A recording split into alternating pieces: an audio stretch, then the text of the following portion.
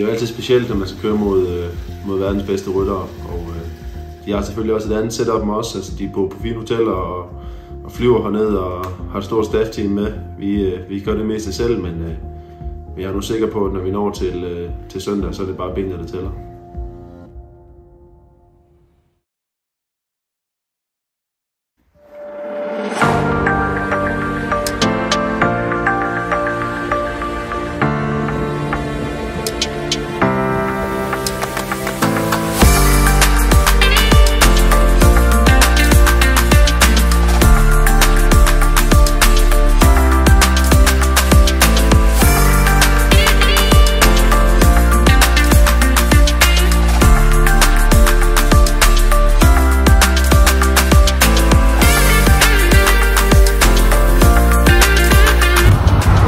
Er meget glad, at du kommer godt i Mojam.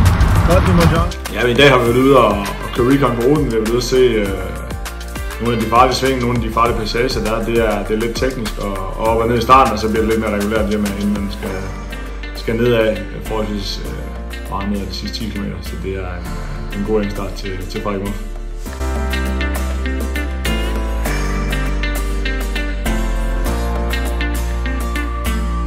Ja, man kan sige, at gennem hele året har jeg brugt rigtig meget tid på at træne på min cykel og, øh, og her på, på det sidste har jeg trænet rigtig øh, intenst, kort og hårdt.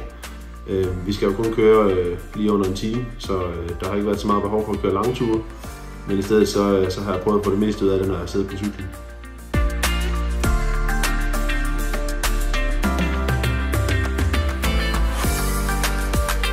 Vi er taget til Frankrig for at køre Corona Destination med, øh, med Frederik Muff, og øh, det er en fed enkeltstart, hvor at, øh, vi skal ud og prøve os med alle de, de bedste i hele verden, europamester, verdensmester osv. Så det er, det er et rigtig fedt løb at slutte sæsonen af med.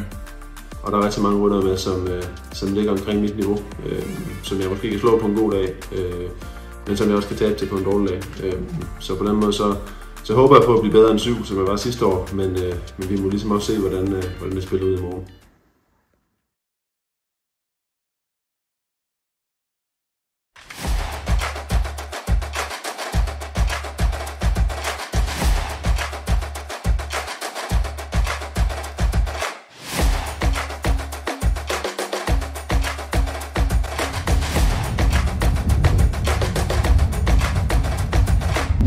Arm her, venstre arm her.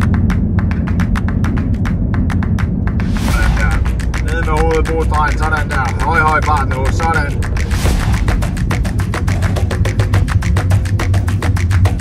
Kom så. Det er rigtig godt. Lille modbakke, der kommer her. Kom så.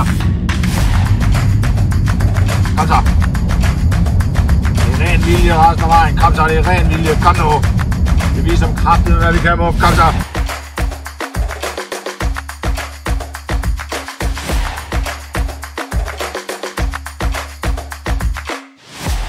Qui euh, vient de franchir la ligne il y a quelques secondes en première position, et ben il sera pas resté leader très longtemps. Et non, Frederik Møff qui euh, confirme. euh, Det ligger sgu hårdt ud. Øh, og min vatmåler stopper med at du, så jeg kører bare fuld gas. Men øh, jeg synes godt nok, jeg bøvler med det hjemover, men jeg havde sgu ikke mere, så det er spændende at se. Jeg får stadig at vide, at jeg ligger stadig et sekund foran på første mellemtid, men ah, der kan fandme ske meget derfra hjem? Så det bliver sgu spændende at se, hvad der rækker til, men øh, jeg kunne ikke køre stærkere i hvert fald. Le dernier virage pour Stéphane Kung.